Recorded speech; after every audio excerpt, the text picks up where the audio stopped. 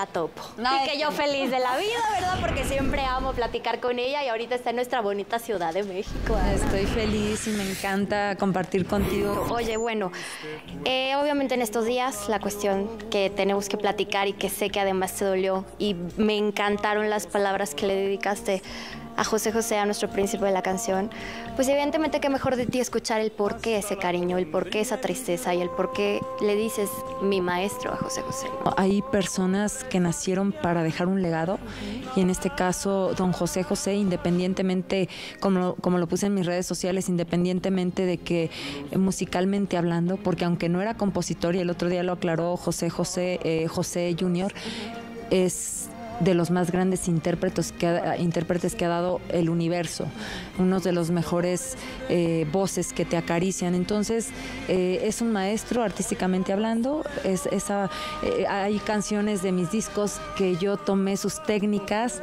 para grabar en una sola toma sin tomar aire y lo, lo aprendí de él. Decían que era difícil. Así es, dificilísimo y me encantan esos retos. Y, él, como ser humano tuvo una vida también como muchos otros bien complicada. Complicada desde, chico, ¿no? desde joven, con Así un es. papá difícil difícil, con una vida de, eh, poco, poco me gusta ahondar en eso, todos tenemos problemas, pero lo importante de él y lo que nos deja es de qué manera mm, lo sacó adelante, tuvo un, un intento y maravilloso y creo que lo logró de tener una vida digna en los por lo menos en los 10 últimos años.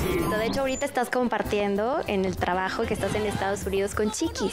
¿Cómo ha sido la experiencia con ella? ¿Te gustaría trabajar con ella? Porque se lo preguntaron a ella y ella dijo que le encantaría hacer Ah, algo contigo. claro. Mira, a mí se me ocurrió algo que podría llegar a pasar si en un momento dado ella algo muy ella es muy jacarandosa, es- es- es- ella tiene una cosa muy bonita que le gusta al público. Si se concreta, claro que sería muy lindo compartirlo con, con ella, con su gracia, con su, claro, con su estilo. Tuvimos ya, yo tuve la posibilidad de verte en escena con la señorona Paquita, la del barrio, que cantaron Gracias. esta canción ya en vivo. Este dueto en donde prácticamente pues es como si fueran unas amigas.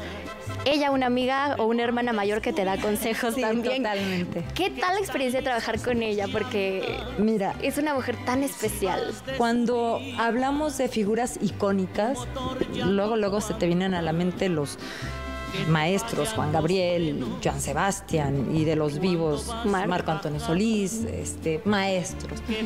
Ella, hablando de interpretación, porque ella es, es más intérprete, pues, es de esos íconos que, su voz es característica y, y- y para mí, para mi historia, para mi historia musical y como compositora es un honor poderlo compartir con ella. Tú lo viviste en el escenario, ella cantó, ella me dio el consejo literal de amigas, me cantó como amiga, al que lo engañe, al que me engañe lo engaño, al que me quiera lo quiero. Es, es, es intensa y esa intensidad está impresa en disco y eso lo amo. Ya para terminar, Sí. esta fotografía maravillosa donde estás tú de pronto en Los Ángeles y te encuentras al señorón, al Buki, a su esposa Chris y también a los chicos de Maná. Y Qué compartes padre, esta ¿no? foto, qué increíble. Ellos que son como familia para mí. Y que te ama muchísimo. Gracias, Ana. Gracias, te quiero. Al preciosa. contrario, te quiero Y más. vamos a seguir acá. eh, Así es, ya nos seguir. vamos corriendo. Y bueno, pues ella es Ana. Nosotros continuamos con más aquí a través de Banda Max, señores, la reina.